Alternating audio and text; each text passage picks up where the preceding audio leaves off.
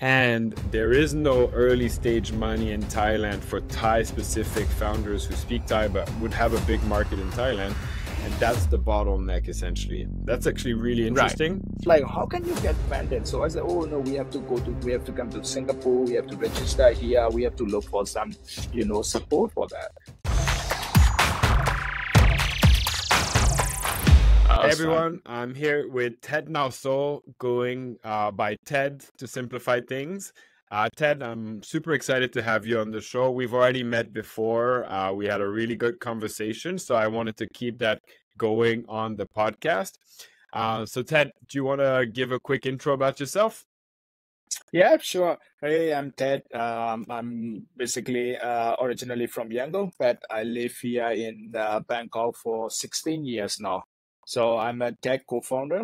So I studied the uh, the hotel supply chain management software less than years ago uh, as a technical co-founder, and the uh, currently you know uh, the team is based in uh, Thailand, uh, Bangkok, and most of my customers are based in Thailand. Some in Indonesia, Vietnam, uh, Maldives, Dubai, Qatar, and the somewhere you know I have few places, few hotels in Madagascar and Mauritius as well.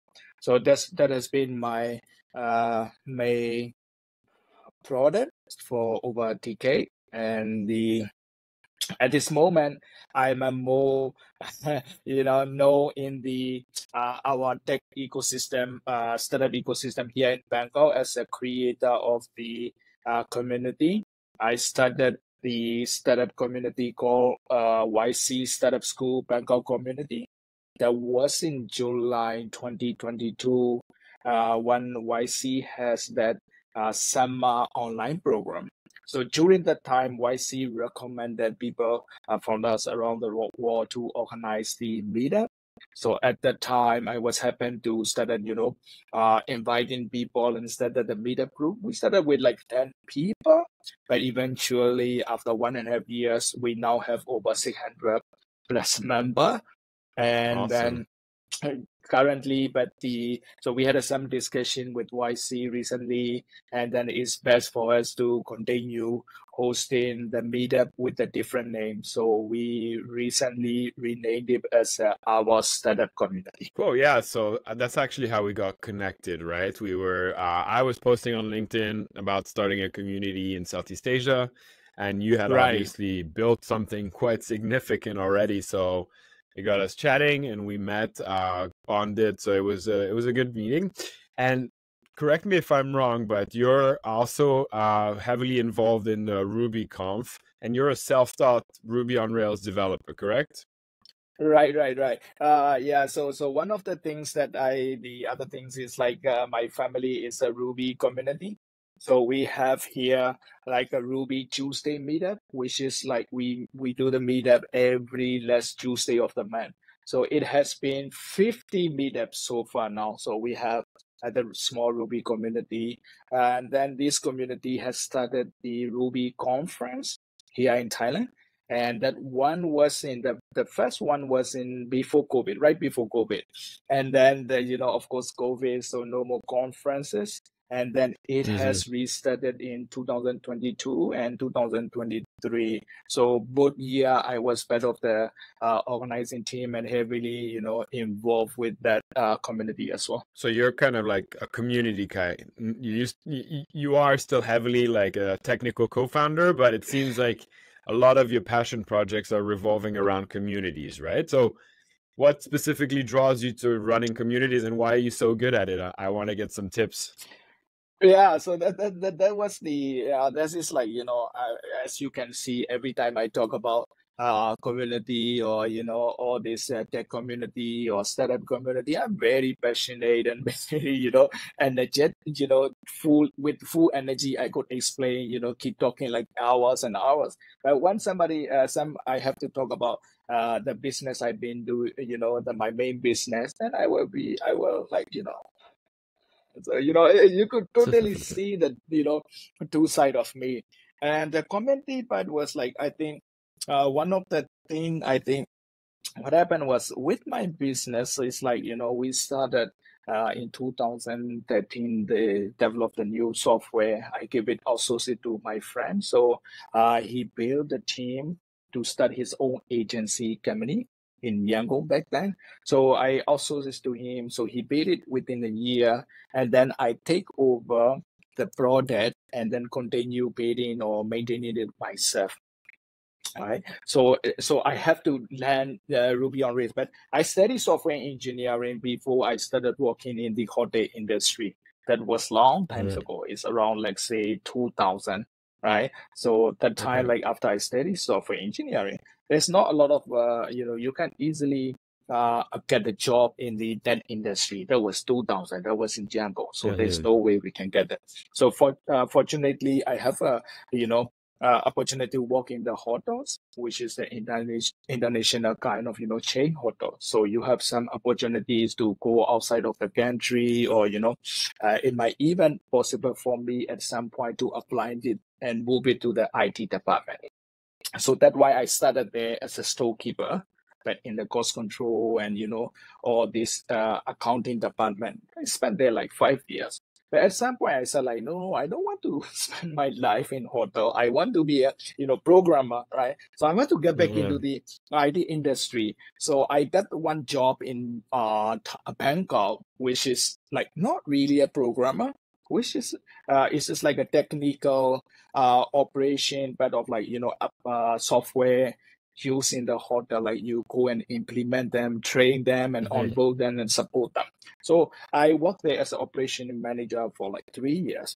But after that, I realized like, you know, my life is not there for other people. I mean, you know, I, I just want to be a programmer, right? I really want to be a programmer. How can I get started? I cannot just quit the job and go apply uh, any other software, you know, software house. Uh, hey, I'm, a, mm-hmm. you know, I have a job experience as, a, you know, a year, but I don't know how to go. Can I, you know, join you as a junior programmer? It's not going to happen. So I said, like, the only way for me to chase my dream is like start my own business right? Sure. So so I quit the job and then started uh, you know, reselling other people's software. And at some point, mm. you know, we decided there's an opportunity comes, so I decided like, okay, uh, I will be my own product. Uh, I, I, I still don't know how to go, so I have to. Uh, I meet with my friend, and he said like, he's going to open the new agency company and say like, okay, perfect. You know, I, I need to you to pay this software for me. I will give you money. You pay the team, and then I take over. So during that project time, I have to study Ruby on Rails and everything, and then I take over. So that's how I get into the uh, the programming world. And so at some point, I've been doing all these things, didn't go to meet with other people, just, you know, always being programmer behind the laptop, right? You know, doing all the things. I really forgot about growth and anything. I don't really, you know, focus on all that stuff. But at some point, 2018, I guess, uh, like I was like, oh, it's been a five years. Uh, this company is not growing. We've been like you know like a lifestyle businesses, right? But I said like, I, I mean, it's okay now. I fulfill my dream of being a programmer. I know how to code, and you know I've been uh, writing the code that that ran the software behind some of the big hotels here in Bangkok. So I'm like, okay, good now. So what next for me? And then I was like, I don't know where to get help, right? I don't know where to go. So the first thing I saw was like there is a Ruby conference happening mm-hmm. in Thailand. So I said like, oh, reach out to them and see. So they said uh, they also have the Ruby community meetup every Tuesday. I said I didn't know they they started for like you know few years back. I say like, okay, let me go meet with these people. So you know I go and join the community. The first day because you know I never go to any meetup and anything, so I have no idea what to expect. The first day I arrived to the meetup, I feel like you know, oh, there may be a lot of people like you know, uh, expert programmer, genius, like maybe they might they don't might they don't even want to talk to me, right? And then when I arrived, like community was very welcoming, right? Was mm, really awesome. you know hit it off. I was like, it's very warm welcome. So before I go, I has a lot of anxiety. Like, am I going to make friends with them? Uh, what do they think of me? Right. And then it's totally different. So the communities were so welcoming. Uh, that people talk to me and then really try to know me. And then I feel like, wow, that's like what community is about, right? So I get involved with that community every meetup. I go with them, talk to them, and then only I open up a lot of you know connections and network and knowing other people.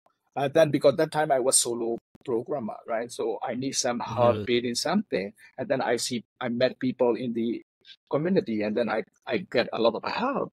So I said like, wow, that's what the community is, right? So that's yeah. why when I started this, uh, uh, so because of those experience, when there is a, a YCS to organize a meetup around the world, and then I see there is nothing in Bangkok, so I say, okay, uh, I could able to start because I had an experience working, you know, going to the meetup, uh, Ruby meetup community all the time, getting involved deeply with the uh, organizer. So I know, okay, I can do that. That's why I started.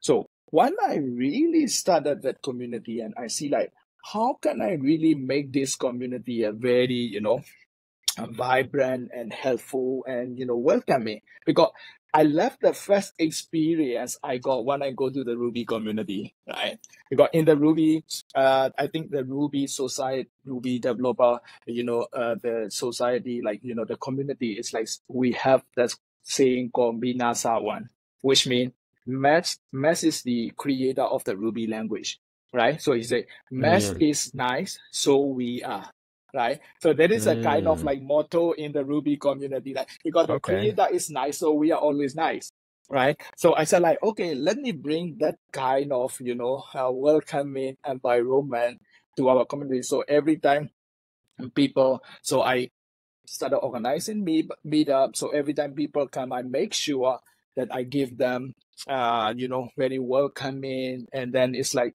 make sure that they uh, you know whatever they need so it's like I think it's all come naturally at that point, you know, making people comfortable. So I think yeah. that's what make make uh, I think me becoming a successful community beta and then you know could able to build that community uh, with you know few people to now to say hundred plus people. Yeah, it's it's pretty obvious that you're super passionate about communities. There's no doubt about that, the way you talk about right. it. And uh, I think you you hit the nail like about the, the value of communities that bring people together in one way, but also build so many opportunities. I think for me, moving around a lot, I realize that when I go somewhere new, the most important thing I can do for my personal and, and business life is to join a community. Uh, like for example, I joined your community a few weeks ago. I see it's super active. I'm starting to see a different players and what they do, etc. Like, uh, yeah, I, I completely agree. I think it's a it's an awesome awesome thing to do, and I hope you keep building because I I love to see that growth. Uh, I'm curious, what brought you to uh, Bangkok, by the way? Because the reason I ask is I'm trying to make this podcast helpful to founders from around Southeast Asia.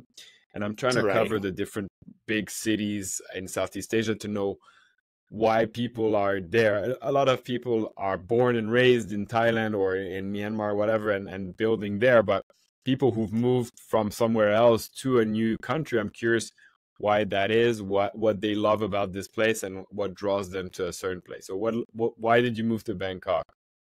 Right. Uh, but that was 16 years ago. So, you know, it might be a different of the reason uh, why you want to move now and why you want you want to move back then. Uh, but the one but one thing that always, you know, uh, attracted to all the people uh, to Bangkok or Thailand in general is like, you know, cost of living.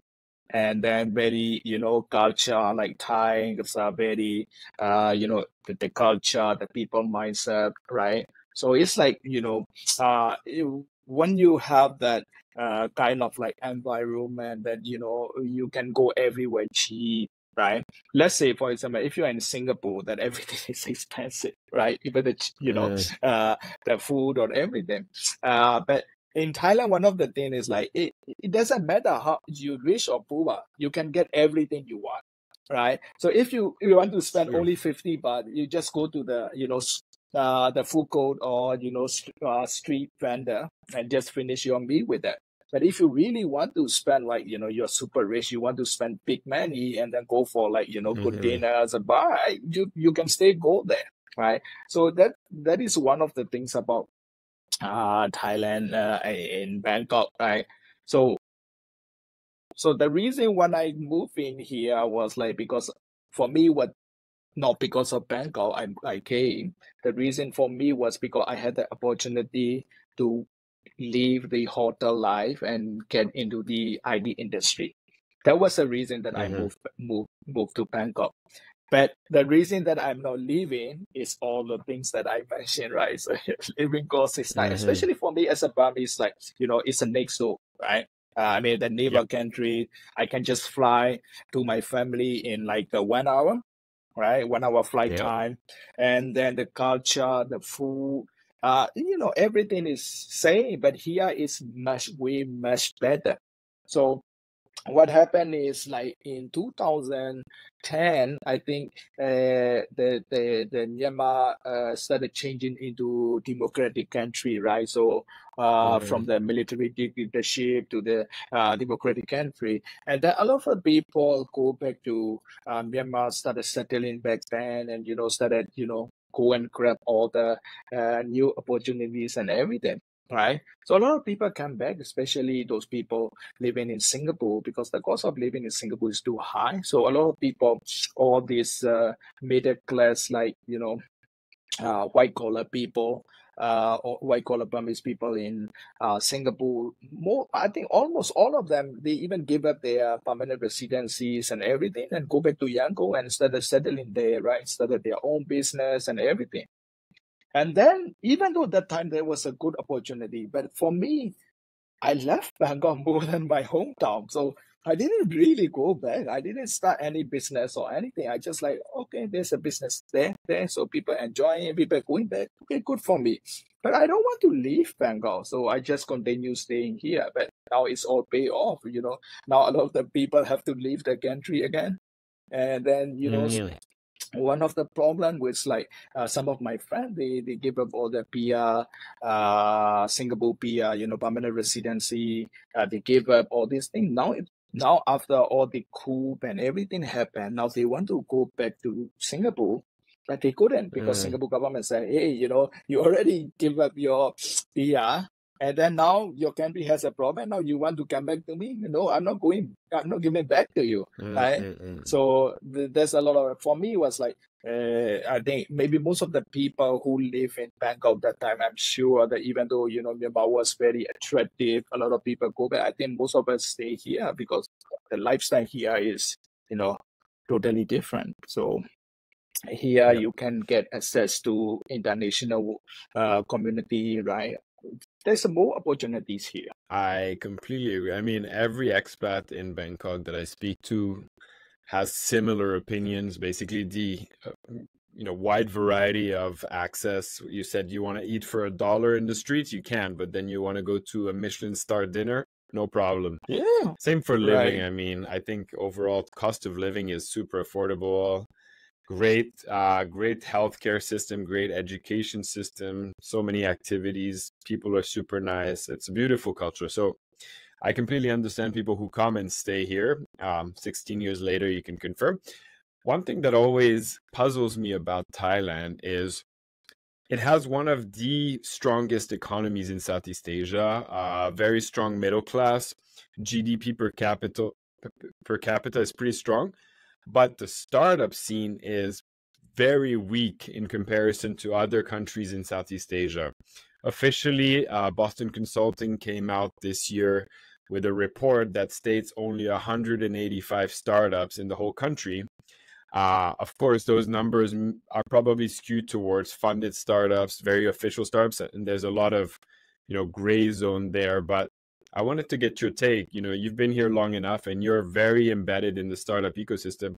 Why are we so behind with startups in Thailand? I think uh, the the BCG report, I think uh, is basically like using the official report, right? I think you know normally when people talk about startup is talk about venture backed startup the uh, the most because you know the the the, the 10 startup is very you know paid in a very generous sense. Like people who study in the uh, law firm would also call themselves startup. Right? So it's a very, uh, you know, some of the marketing agency they just started, they call it themselves startup as well, right? So mm-hmm. this is a very, you know, the terms are very generic to identify. But I think those reports, most of the reports that you know basically mention about startup is like a hyper growth venture backed startup, right? So those yeah. startup that are very, very, yes, very limited right here. Uh, but then also there's a the, the most of the people I when I interact with the community and talk with the people, most of the people are like you know, uh, it's a lifestyle businesses. They started the startup and became a lifestyle, or maybe uh, they just like you know some of them they have to register in Singapore because of they can get the funding right? Mm. And the mm-hmm, mm-hmm. uh, so the funding, if they need some kind of funding from outside, you definitely have to register in Singapore. You cannot be, you know, in the Hyderabad and Thai company, right? And the I see a lot of like, you know, the small uh, lifestyle uh, uh, startup and the solopreneur, like especially in terms of like uh, uh digital nomad, like expect so left to live yeah. here in uh, uh, Thailand, but it's like you know trying to be some solopreneur kind of thing. So you know sell it to the outside of Thailand, right? So. Mm-hmm. Uh, so most of the people in my community that I would see is normally like you know as like lifestyle businesses, solopreneur, and the uh what is the the other type it's like most of them are like maybe the early stage or aspiring founders who will come and you know learn about how they want to start a startup. So those kind of like you know venture bet hyper growth startup are very very difficult to find stay very very difficult to find in uh, bangkok. I think the whole reason is like uh, the ecosystem itself is not very supporting right? Uh, mm-hmm. So you have to be uh, really uh, need to have that. Look at some of the successful uh, case study of you know the successful that startup in the BCG report that you will see those founder are someone that already had experience in the some kind of you know different uh start different business before or they might come from the rich family right and then mm-hmm so there is no you know it's very difficult to find someone with a self-made like okay you know i would just go and pay some big thing next. It's very difficult to uh, find it here. Uh, i think it mm-hmm. has to do with uh, do with the basically ecosystem is not really you know uh, helping in that way. Let's look at that you know some of the people who here to uh, in the university. For example last time i saw uh, one guy he's been in some kind of AI uh AR like a, uh, you know augmented reality with the AI stuff. They were like uh, one mm-hmm. of the project the uh pro- as a side uh, the, the project during their CS study in Chula, I guess. But you know they they build that things and then so for them it's like the only way for them to get money is get the grant from the DEPA or NIA. So I told, I asked them, okay, how much you normally get? It's one million baht. But you, you can really, you cannot even pay yourself to pay something big yep. with that one million baht. It's like, how can you get funded? So I said, oh no, we have to go to, we have to come to Singapore, we have to register here, we have to look for some, you know, support for that. So I think yeah, ecosystem is the main problem here. I think it's not really helpful uh, in a way that you know really given the uh, like an environment that they could come and build and really be successful, right? And right, I think that's right, the right. main main thing from my take. I think that's my take. Okay, so what I've what I've found speaking to a few founders here is that setting up a company is not difficult, but as you mentioned, if you want to raise money for your venture, incorporating in Thailand is not going to cut it. You need to be in Hong Kong or in Singapore. And therefore, that's going to skew the numbers, I guess, because the registered, like the company is registered in a different country. So therefore, maybe not accounted for by this BCG report. So I think you're right. Like there are a lot of entrepreneurs. There's no doubt in that. Like uh, solo founders, um, all sorts of entrepreneurs that are you know individuals and not necessarily startups but if you're looking at pure startups probably fewer because they're registered elsewhere so that's what you mean right Right, right, right. So, so it, it will be very hard. So some of the some of the people are entrepreneur head hard, right? So they know how to build it, but they don't know how to scale it because they don't have, uh, you know, uh, real uh, how to say if someone like say maybe even in Thai, but if you are someone could able to, you know, you live in Bangkok, you grew up in the you know some kind of uh, uh, private school that you mm-hmm. could speak English, that you have a, you have enough comfortable uh, enough you know the level of comfortableness to, to be comfortable to communicate in English, and then when you mm-hmm. celebrating something, you could easily go outside and then raise money right? But if you are not not you come from the like you know public school but normally your the thai uh, for them as a english is not really you know very natural for them to communicate. So those kind of startup would become afraid to go outside of thailand to raise money so they will stay mm. as a lifestyle small business and then as it is then because they they cannot really you know uh, have support from uh, any place to grow because most of the CVC here would not normally fund uh, early stage startup, right? Unless you have right. some kind of very big, how to say, uh, technology or something that is very, you know, uh, IP, right? Something that they can be trusted on. Okay, you do you have some special IP or you have some technology so that we can invest you, right? Otherwise, right, it's not. Uh, so okay, I so that's a, that's actually a really good point that I haven't thought about and I haven't mentioned. Like I haven't discussed this with anyone, but all the early stage money in Southeast Asia is anglophone, meaning you really have to be proficient in English, regardless of where you're operating, because that's how you're going to communicate with your investors.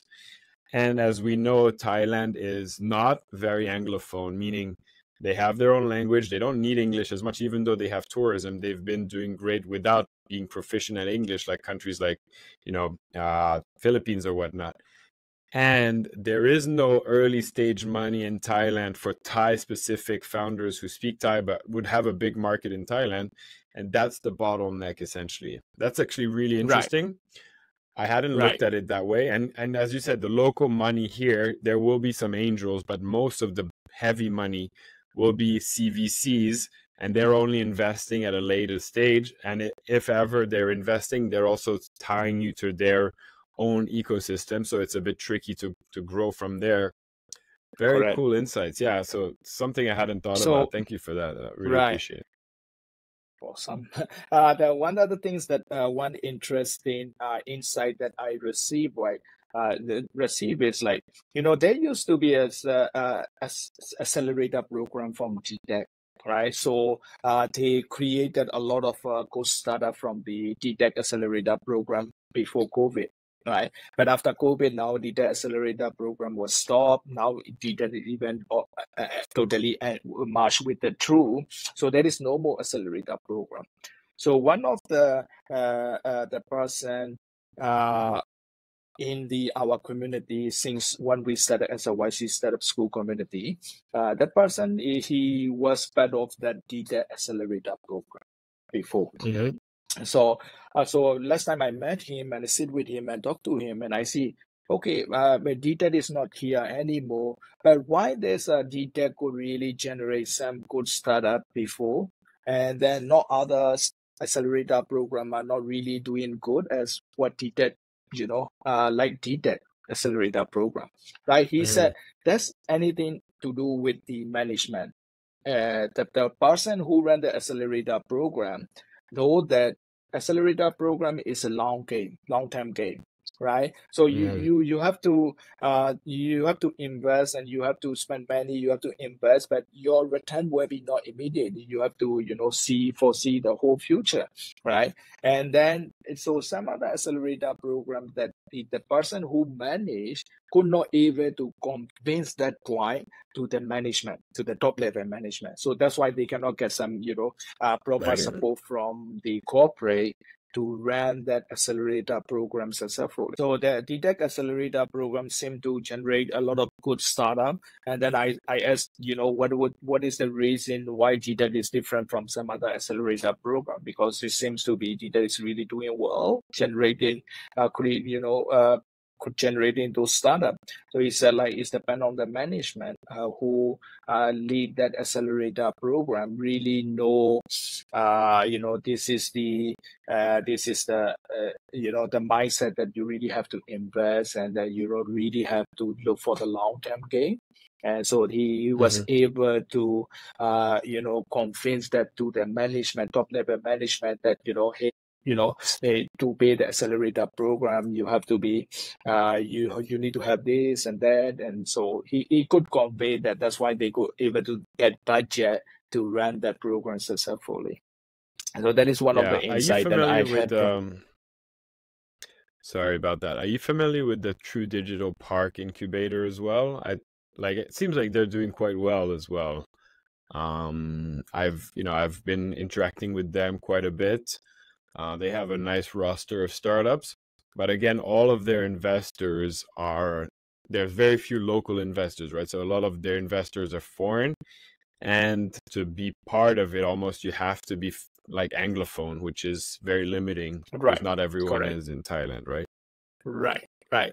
So I think uh, they have a different different program as well, right? So I think uh, one of the things is like they got incubation program for the startup outside of Thailand. If they want to come into uh, see the Thailand market, you have to pay for 100k and then get that they will give you uh, kind of like uh, some of the uh, services and plus the program for the one year visa and then go work in Spain and stuff like that. Yeah, so I think that there's a right. uh, program from the True uh, Digital Bank. Yeah. So there's efforts from Thailand overall to boost their startup ecosystem. It just takes time, basically.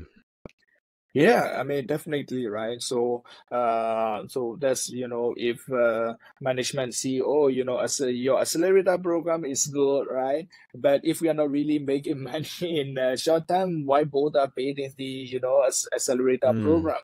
Right? Uh, and then uh, I think that one of the problem that everybody point out is also like CVC, uh, you know, uh, or the corporate. The, the reason for them, their their incentive is like if I'm investing in startup or if I'm creating the accelerator program, it has to be uh, something that we can acquire right? Something that can integrate that into our business, right? They are not mm-hmm. really want to make money out of you know this startup. They they they still want to be a startup that would at one point could be able to be you know aligned with what they are doing in their business. So they they would want to acquire and integrate it into their uh, business.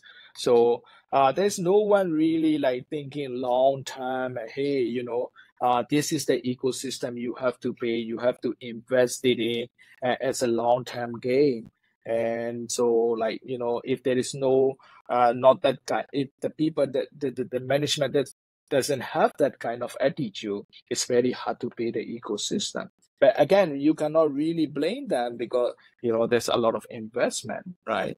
So if there is no return on investment for them I say like, why would I bother investing in it?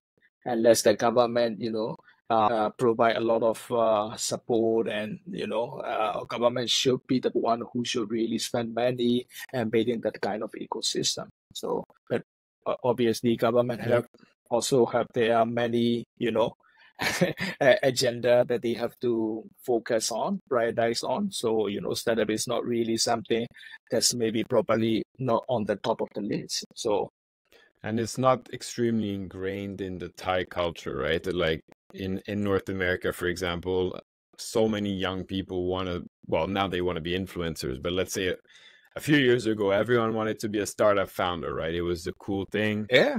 Most yeah. most people, the reason was because they thought it, they'd become multimillionaires very fast. But there's a lot of entrepreneurial culture in North America, a little bit less in Europe, but I noticed that in Southeast Asia, there are some countries that have it more and others less. What What are your thoughts on entrepreneurial culture in, in Thailand? I think, uh, like you know, I mean, there's like every. I mean, let's say uh, everywhere you have Chinese be descendant people, there's there's always an entrepreneur mindset is there, right? All the Chinese people uh, migrated from uh, let's 60, 70 years ago, right? Maybe more than that, migrated from mainland China to most of the Southeast Asia because they are all uh, entrepreneurs. They are all the business people. Look at the uh, mm. history. The reason why they have to leave the mainland China was the uh, the Chinese that the Mao Zedong kind of like you know the Chinese culture revolution right so they are confiscating everything and you know try to uh, uh it's a communism right so all the rich people have to leave and bring all their uh property uh, you know well and uh, they have to bring all their well as much as they can and leave the mainland so all these people are just across everywhere, right? Indonesia, I mean, uh, Philippines for sure, in Myanmar, Thailand, Singapore, Malaysia. So these are the people spread all, all over this Southeast Asia. So those people, uh, those family come from those family. They all have that entrepreneur mindset, right? So they are all about making businesses, create, you know, building some uh, uh, uh, well and uh, big corporations. But the thing is that these are like all these people come from the like uh, the family kind of entrepreneur uh, things like mm-hmm. they, they don't they don't need that venture venture uh, sub, uh, venture capital support right so they have all, right. the family business so if we are talking about entrepreneur yes there's a lot of people with the entrepreneur mindset but the thing is like not venture back kind of st- you know entrepreneur uh, those, mm-hmm. those cultures are not really you know how to say and not we, we couldn't find enough of those people those type of people right it's a it's a different type of entrepreneurship they're still very much business yeah. oriented but less right. venture back um, okay so i'm curious about your thoughts because you've been exposed to this country for a long time are you seeing some startup uh, or uh, types of startups that are working really well in the rest of the world but haven't yet come to thailand like any projects that you you think would be beneficial for the country? Mm, that's a very hard to uh hard to take because for me like I've been in the B2B space for too long. So, you know, uh, that would be the only thing that I would normally uh, keep an eye on. So, yeah, mm-hmm. I mean, for, for sure, in terms of uh, B2B uh, even in the B2B space, there's a, a lot of things can be have uh, things can be improved, and there's a lot of room to grow. Uh, let's say, uh, for example, even uh, look at all these insurance, big, big company insurances, and all like the one that you need with the call center, right? Oh, yeah. Then all those big call centers are still using PABX technology, right? So the PABX uh, hardware and managing all the call center, right? But that can be, you know, easily replaced with a lot of the new technology that existed for more than a decade now, right? But again, these are all legacy software, legacy tools that you know a lot of the corporates stay using it because you know uh, again all the corporate enterprises very hard to move right? So it's also take time. So one of the startup is scaling is now i mean is trying to get into most of those uh, uh, big corporate moving away from the PABX, you know, hardware to the cloud, you know, uh, tools that manage all the call centers. So, I mean, there's a lot of room here, uh, especially in the uh, in the B two B space, enterprise world. Uh, a lot of people are, you know, things are like maybe data like you know less than 10 or 15 years ago the technology that was more than 10 or 15 years ago they're still using it especially for me mm-hmm. like maybe in the hotel industry as well uh, uh, like you know a lot of legacy software stay in place and every new hotel open they still have to continue using the legacy software and there's a lot of innovation and a lot of new techno uh, new you know startup can how to say you can create a lot of new startup uh, that can really help them transform in a, a new way, right? So yeah. So my question is more like, I know that you know Thailand has a decent population, decent decent market, but it has its own language, which is completely unique to to Thailand. It's all its own writing and all that. Like the solutions that you're talking about, the legacy solution, for them to be replaced, is it basically taking something that's working really well in North America and simply translating it and bringing it to the market? Is can it be as simple as that to kind of dominate a, a, a market with a certain app, or is there more to it and that's why a lot of people are or no one's doing that type of approach? I think there's a uh, uh, there's a uh, two, maybe uh, more than one reason right? The one of the reason is the budget. Uh, let's say the big corporate the, the tools that they are using the like let's say the digital transformation. Last time when i was when i came to Bangkok in uh, 16 years old, let's say 15 years ago. That was the period people are still talking about digital transformation, right? A lot of the enterprise, uh, they are moving away from the manual process into digital transformation, right? So those are like 10, 15 years ago, that was the, they, they, they make a big investment, right? So mm. now after 10 to 15 years, it's still like for big corporate to move to, you know, the new things, it's like stay very uh you know hey we just spent big billion of you know uh money on less than years ago 15 years ago now you know we still can use it why don't we continue using on that right that's a one mm-hmm. aspect uh the other thing is like uh, the big corporations, uh, like you know, they said they are they are uh, they are consist of like so many people, manpower, right? The training mm-hmm. for them is to you know it, it costs a lot. You can buy software and replace it but to train all this uh, employee to adapt to the new technology new tool i think that's that is the hardest part. Okay. You have to i, I see what you're saying. so not like is the number of people needing to be trained the issue or are thai companies still quite conservative and therefore if they're you know they've invested in a in something 15 years ago they're going to run it as long as they can even though it can be completely obsolete. And as a follow-up question is it hard for thai companies especially the big corporation to you know be convinced of a higher roi if they invest in new tools?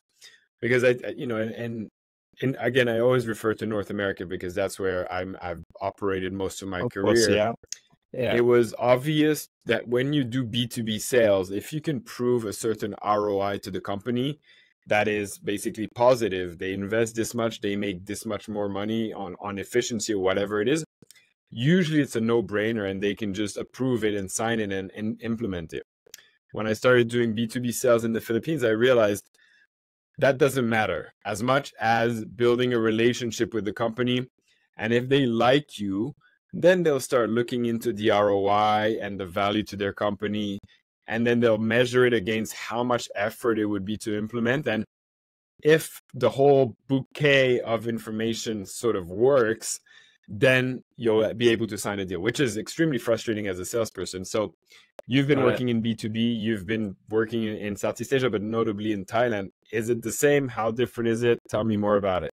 It's the same. Uh, so like you know, you you you you you. It doesn't matter what your product is. Like you know how how uh how good you know whatever ROI that you could uh you know you could show them like you know hey you will be making this mess and this but again they come to the the people uh like a relationship like you know how can i trust you uh and the the other thing is also as well like you know hey i'm a, you know, especially like when you're selling to enterprise businesses, you say like, hey, I'm just an employee, right? But now mm. the system I have doesn't break anything, right? I'm still okay, right? I don't need to worry about. It. But if it is, if mm-hmm. don't break and don't fix it, right? That's one of the attitude, right?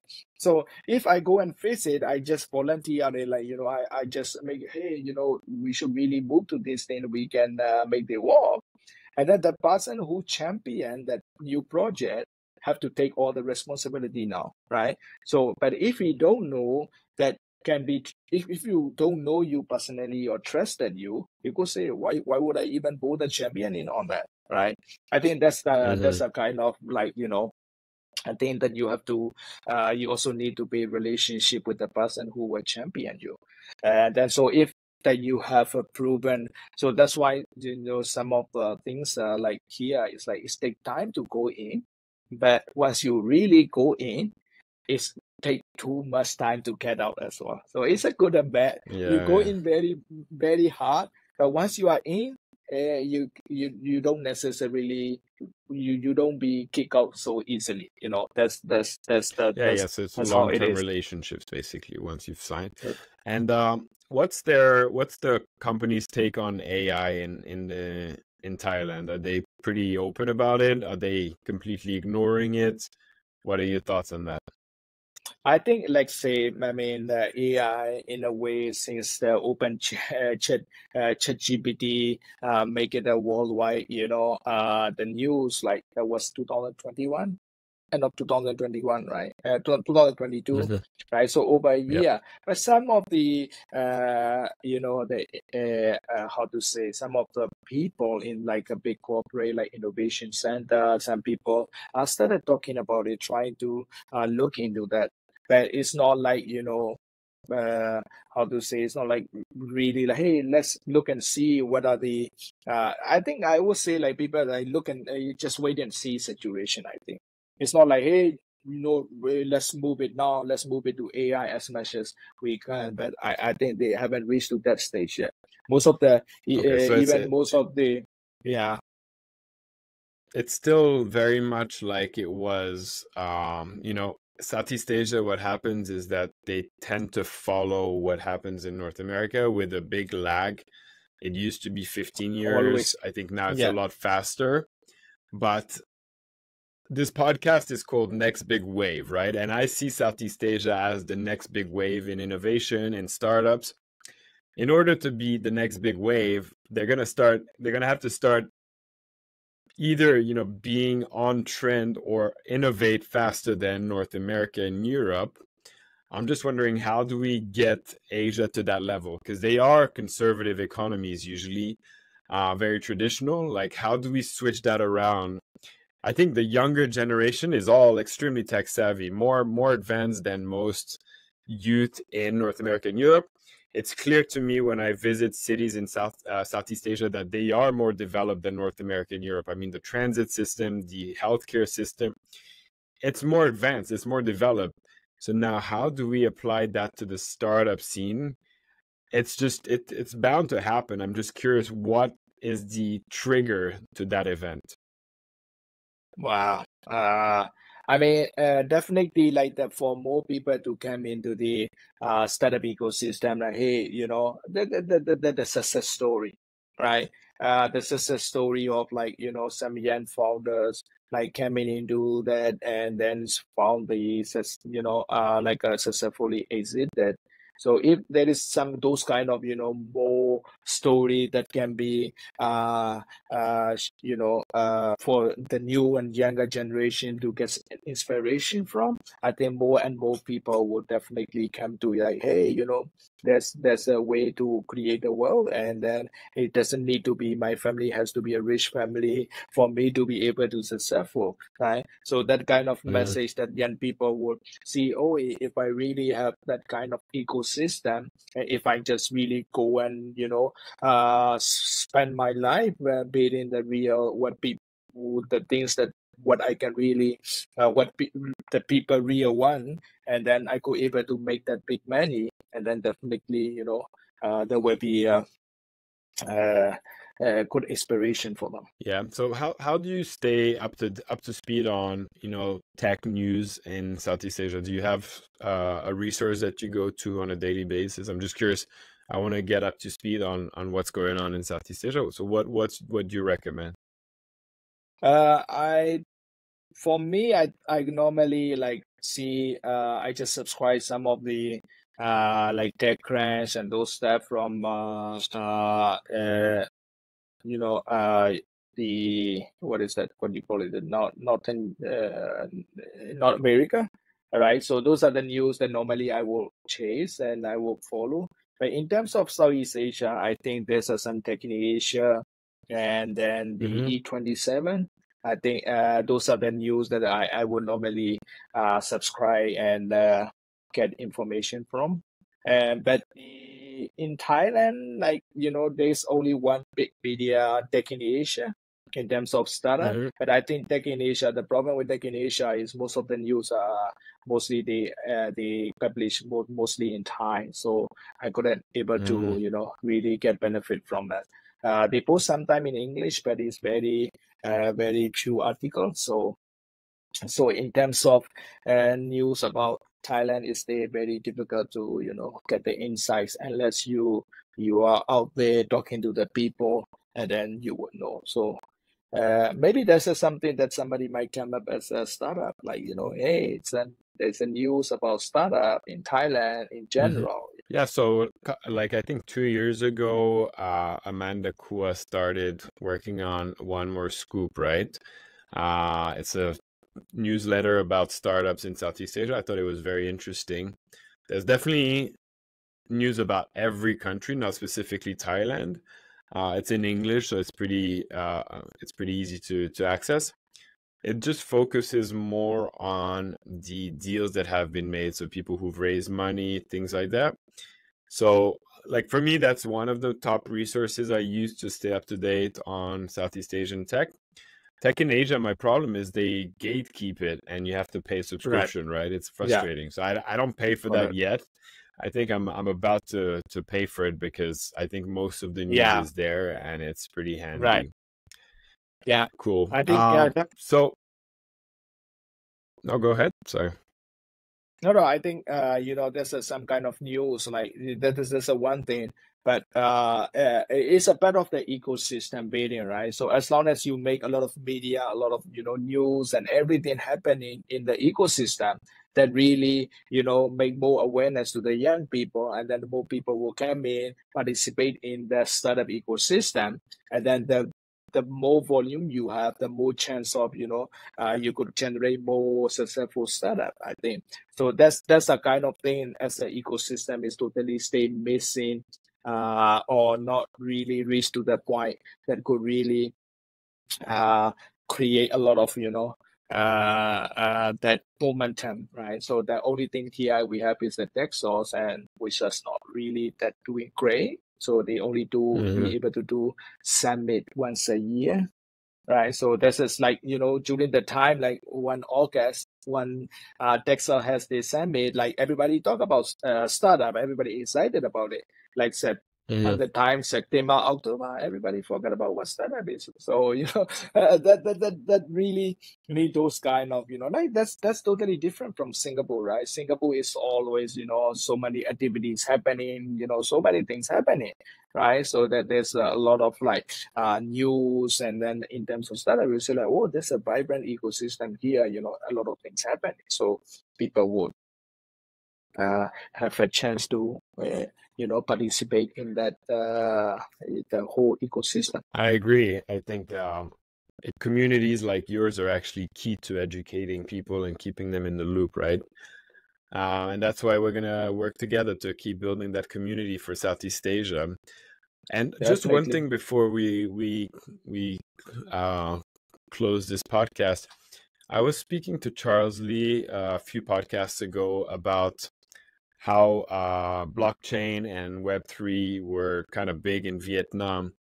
And you were here through the last cycle. Uh, was it something big in in Thailand, other than all the you know solopreneurs that are crypto traders? I'm curious about the real Thai people. Were they interested in that? Are there developers in the blockchain? Is that something in Thailand? Not really. Uh, I don't think not really. Uh, that that that mostly is about the the crypto things, right? So there might there's some uh, there there there was some uh, web web three uh, uh, meetup and things happen, but unfortunately, I was not really interested in those areas, so not really mm. want there and meet a lot of people. Uh, but I think uh, you know after AI came and then those all the things slowly you know I, I don't see any other meetup or things happening these days seriously now. So yeah, I don't think okay. it's quite big enough here. All right, and uh, so one last thing, is there something you want to shout out to or something you want to plug for yourself before we we end this podcast? Yeah, awesome. Uh, so yeah, we have that the our we call our startup community. So OU our startupcommunity.com that will now uh, link to the LinkedIn group. Uh, hopefully soon I will be able to pay some kind of website. Uh, this community have like we have a vibrant community of startup uh, meanings like you know we have a 60% expat community and 40% local. So we have a very vibrant uh, combination of you know local and expat i think that's make us unique and vibrant because if you go to some of the uh, community that will be very expat expat or some community would be very local local but we have a very good mix. So you know there's a lot of uh, activities and networking opportunities and interactions and you know uh, things happening. So if you are really interested in startup uh, want to you know get involved with the community connect be able to connect to other people join the group uh, our startupcommunity.com yeah, I can vouch for that because I'm in the group and it's definitely very active. And correct me if I'm wrong, Ted, but right now it's exclusive for Thailand, right? You might expand it in the future, but limited to Thailand right now. Yeah, at this moment, yeah, my goal is to because the, the reason I started is like as a founder, I want to get away from my bootstrap lifestyle business into the something venture back uh, hyper growth company, right? To start up, I want to build new things right? So that's why I came to uh, I, I look at in the ecosystem, I didn't find one. Maybe it might be because there's non exit existence or also because it's just right after the COVID, right? It was 2022. So I happened to create that one. And then of course there's a product market fit, right? The people really need it. That's why these people, uh, you know, once you can, you see, oh, there's, I could really get benefit. I see, I, I started inviting my friend so, you know, this really became like we don't really have any social media presence or doing any promotion, right? So even though podcast, I'm talking about our community. This is the first podcast I'm talking about our community. So we never really, it, it's a word of mouth, and then people bring their friend. They came, they enjoyed it, they see the opportunity to connect with other people, so they invited other friends. That's why this community became bigger.